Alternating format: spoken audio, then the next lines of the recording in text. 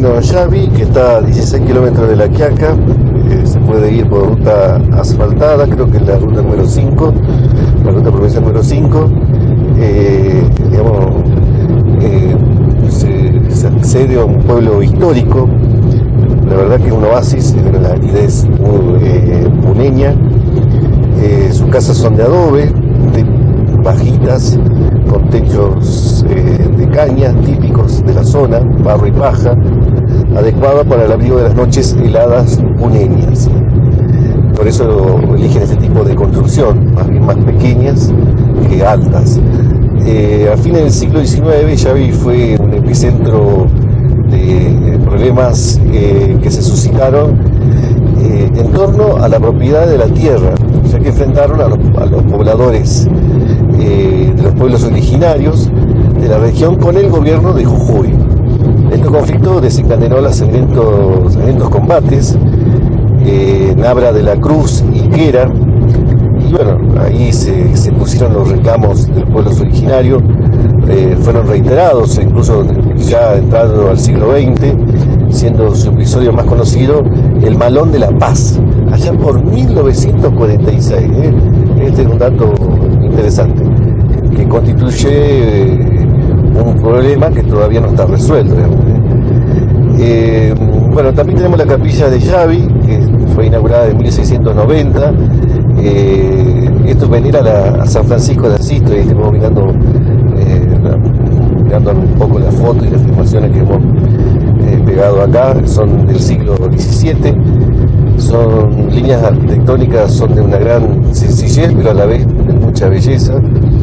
El pálpito, los, los, los altares, los retablos, eh, son todas cubiertas con una lámina de oro.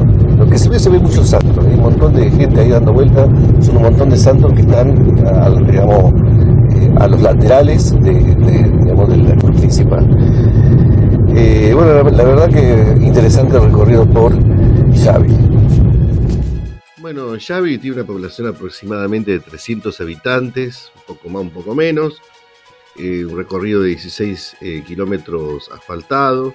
La ruta provincial número 5 une el pueblo con la cabecera del departamento La Quiaca y se encuentra aproximadamente a 300 kilómetros de la capital de la provincia, que es San Salvador de Jujuy. La verdad que es un- esta localidad tiene una historia muy interesante. Fue asiento de la hacienda que integraba el marquesado del Valle de Tojo, el- el- acá no hubo título nobiliario, fue el único, donde hubo un marqués o mar- o marqueses en general, el territorio que luego sería la República Argentina y el sur de Bolivia.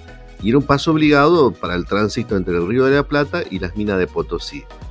A ese tráfico comercial, los viajeros entre el Río de la Plata y el Alto Perú eh, se establecieron en localidades que, que una de las cabeceras principales fue el marquesado del Valle de Tojo, cuyo centro económico estaba orientado hacia el actual departamento de Tarija y la zona de influencia de la región minera del Altiplano.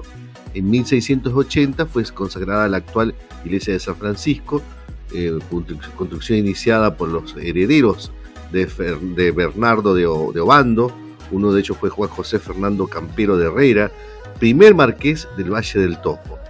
Dotó al templo de, de retablos y pinturas que actualmente pueden observarse y fueron traídas desde el Alto Perú para el esplendor y culto y la conversión de los indígenas entregados a encomienda. Durante ese periodo se construyó la casa principal de la hacienda, conocida actualmente como la Casa del Marqués, que perteneció a la familia Fernández Campero. Durante la Guerra de Independencia fue el escenario de numerosos combates. El cuarto marqués de Valle de Tojo, Juan José Feliciano Alejo Fernández Campero, conocido popularmente como el Marqués de Xavi, se sumó a la causa libertaria en 1813, fue comandante de la Puna la llamada Guerra Gaucha del general Martín Miguel de Güemes, a quien coron- eh, fuera coronel mayor, hasta ser derrotado por la invasión grande de la batalla de Xavi el 15 de noviembre de 1816.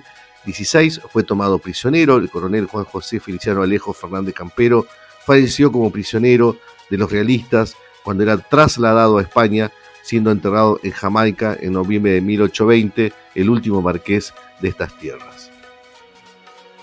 Xavi, a 14 kilómetros aproximadamente de La Quiaca, eh, estoy recorriendo a sugerencia de mi amigo Fernando eh, Laglia, digamos que es un capo viajando. Eh, nos dijo que recorramos Xavi, que está muy cerquita de La Quiaca, y bueno, acá estamos mirando el pueblo, el museo, bueno, sus casas típicas que son muy, muy pintorescas, muy bajitas.